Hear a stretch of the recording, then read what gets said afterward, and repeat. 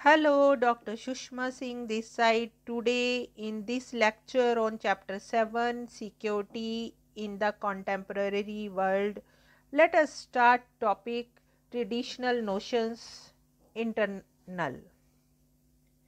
By now, we have will have asked ourselves Does not security depend on internal peace and order? How can a society be secure if there is a violence or the threat of violence inside its borders? And how can it prepare to face violence from the outside its borders if it is not secure inside its borders?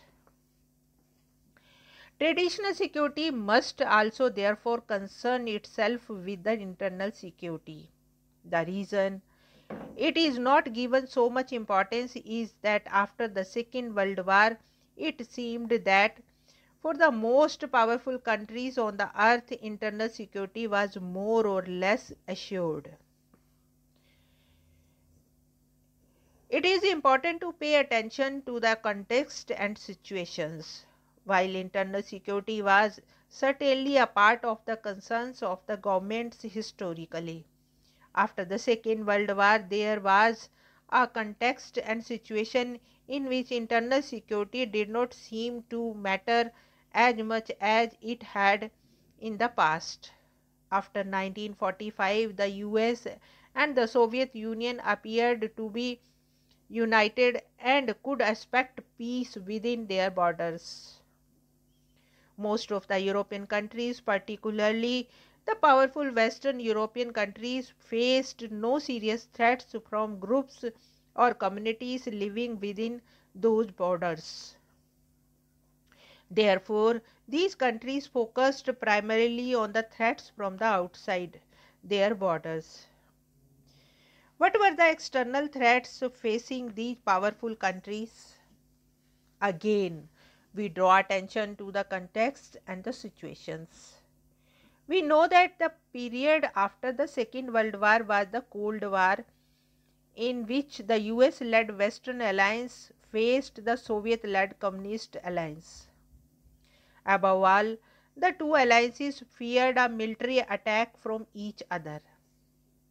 Some European powers, in the addition, continued to worry about the violence in their colonies from the colonized people who wanted independence. We have only to remember the French fighting in Vietnam in the 1950s or the British fighting in Kenya in 1950s and the early 1960s. As the colonies became free from the late 1940s onward, their security concerns were often similar to that of the European powers. Some of the newly independent countries like the European powers became members of the Cold War alliances. They therefore had to worry about the Cold War becoming a hot war and dragging them into hostilities against neighbors who might have joined the other side in the Cold War. Against the leaders of the alliances, the United States or the Soviet Union or against any of the other partner of the US and the Soviet Union. The Cold War between the two superpowers was responsible for approximately one third of all wars in the post Second World War period. Most of these wars were fought in the Third World just as the European colonial power feared violence in the colonies, some colonial people feared after independence that they might be attacked by their former colonial rulers in Europe. They had to prepare, therefore, to defend themselves against an imperial wall. The security challenges facing the newly independent countries of Asia and Africa were different from the challenges in Europe in the two ways. For one thing, the new countries faced the prospects of military conflicts with neighboring countries. For another, they had to worry about the internal military conflicts. These countries faced threat not only from outside their borders, mostly from neighbors, but also from within. Many newly independent countries came to fear their neighbors even more than they feared the US or Soviet Union or the former colonial powers. They quarreled over the borders and territories or control of people and population or all of these simultaneously. Internally, the new states worried about the threats from the separatist movements which wanted to form independent countries. Sometimes the external and internal threats merged. A neighbor might help or instigate an internal separatist movement leading to tensions between the two neighboring countries. Internal wars now make up more than 95% of all armed conflict fought anywhere in the world. Between 1946 and 1991, there was a 12 fold rise in the number of civil wars, the greatest jump in 200 years. So, for newly states, external wars with neighbors and internal wars posed a serious challenge to their security. Now let us discuss traditional security and cooperation. In tradi traditional security, there is a recognition that cooperation in limiting violence is possible. These limits relate both to ends and the means of war.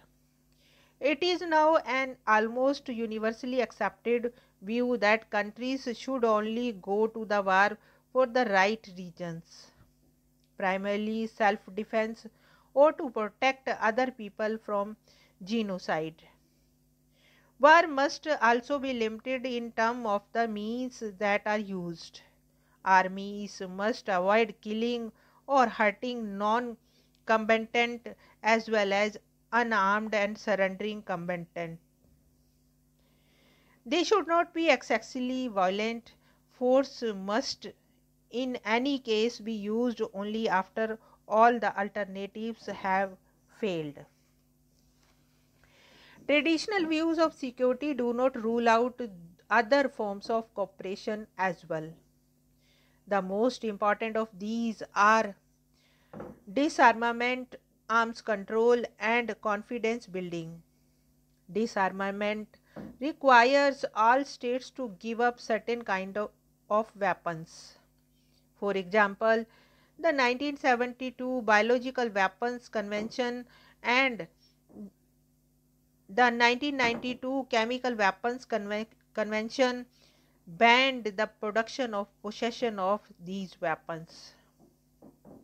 More than 155 states acceded to the BWC and 181 countries acceded to the CWC. Both conventions included all the great powers, but the superpowers, the US and the Soviet Union, did not want to give up the third type of weapons of mass destruction, namely nuclear weapons.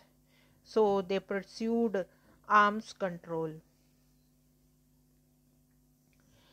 Arms control regulates the acquisition or development of weapons.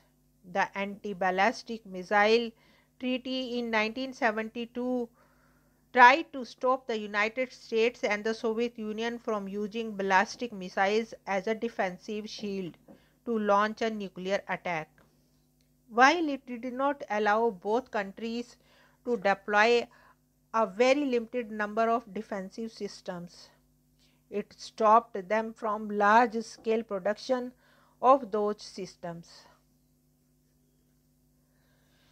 The US and Soviet Union signed a number of other arm control treaties including the Strategic Arms Limitations Treaty 2 or SALT 2 and the Strategic Arm Reduction Treaty START. The Nuclear Non Proliferation Treaty NPT of 1968 was an arms control treaty in the sense that it regulates the acquisition of nuclear weapons. Those countries that had tested and manufactured nuclear weapons before 1967 were allowed to keep their weapons, and those that had not done so were to give up the right to acquire them. The NPT did not abolish nuclear weapons, rather, it limited the number of countries that could have them. Traditional security also accepts confidence building as a means of avoiding violence. Confidence building is a process in which countries share ideas and information with their rivals. They tell each other about their military intentions and up to a point their military plans. This is a way of demonstrating that they are not planning a surprise attack. They also tell each other about the kind of forces they possess and they may share information on which those forces are deployed. In short, confidence building is a process designed to ensure that rivals do not go to war through misunderstanding or misperceptions. Overall, traditional conceptions of security are principally concerned with the use or threat of use of military force. In traditional security, force is both the principal threat to security and the principal means of achieving security. Thanks for listening. Here we close our lecture. Thanks again.